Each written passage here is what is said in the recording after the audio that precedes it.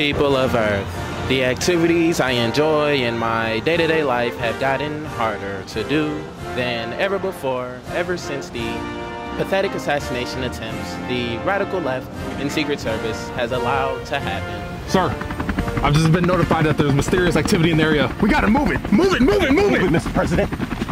Move, it, Mr. President. Move, it, Mr. President. This way, Mr. President. We got you, Mr. Got him. Cover! Cover, cover, cover, cover! The radical left should be ashamed of themselves. As for everyone who stands by their side and allows celebrities like myself to be attacked daily by brainwashed individuals and fake news outlets. I mean, geez, those guys are the worst.